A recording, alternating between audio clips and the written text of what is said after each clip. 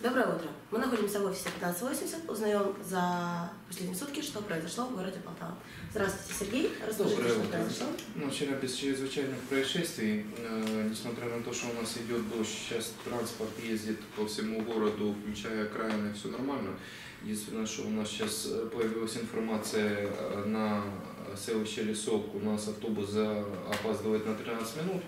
Ну, в принципе, я думаю, что это не критично. Сейчас все эти заявки, которые по гололеду, мы передаем на соответствующие организации. То есть с ним все нормально с автобусом? Да, да, да. То есть э, все маршруты у нас сейчас по Он даже такое передает.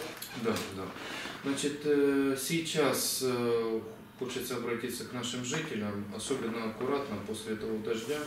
Сейчас у нас съезжает снег с крыш, максимально то, которое мы сейчас убираем, но весь объем охватить невозможно. То есть не ходить сейчас под домами, потому что сейчас вот именно после дождя у нас сейчас критический момент. Потому что если сегодня все будет нормально, то практически с сосульками проблем уже не будет. Э, Сегодня у нас э, пока без отопления, кроме э, монтажного 4 и сковороды 12, добавилось два дома, Гоголя 26А. Вчера весь день ЖЭК проводил работы.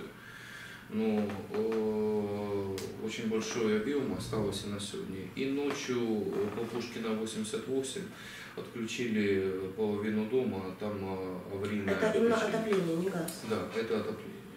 Значит, по этим домам сегодня планируем, что ЖЭК выполнит А работу. причины какие? Э, На Пушкина 88 была скрытая утечка, а на Гоголя 26 там ремонтные работы в подвале. Мгм. Ну, в принципе, на сегодня у нас э, погода остается днем 0 плюс 2, так что можно сказать, что она нам сопутствует. Э, Несмотря на это, у нас вышло сейчас около 400 дворников. Это КПЖО номер 2, декоративные э, культуры, да, УМБ номер 23. Сейчас у нас основные работки идут по посыпке территории. Основных это красные линии и э, остановки, ну, основные маршруты.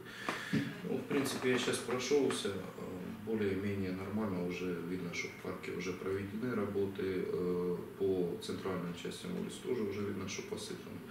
То есть, в принципе, все нормально. Вчера выходили на травпункт, особых жалоб таких, что нет, ну, около трех человек подскользнулось, но все-таки резонанс это стоило что более-менее пока у нас все Это год, который, да? Да, да, да. Дождь сегодня ожидается?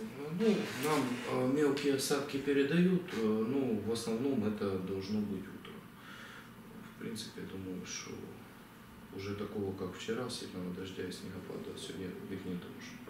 Ну, остается у нас э, остается штормовое предупреждение по ветру, поэтому еще раз просьба к водителям не оставлять под деревьями свои машины и также не парковаться на обочине. Вчера на адресном Бесной сотни 3 мы вызывали три разных вышки, потому что пытались снять. Там припаркованы автомобили, и там нужен большой выброс стрелы этой вышки.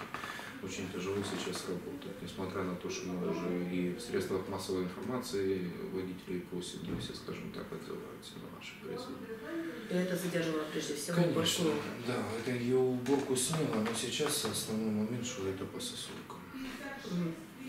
Молодчане, прихватите с собой, возможно, зонтики, но прежде всего все равно посмотрите вверх и обходите стороной дома, потому что снег падает.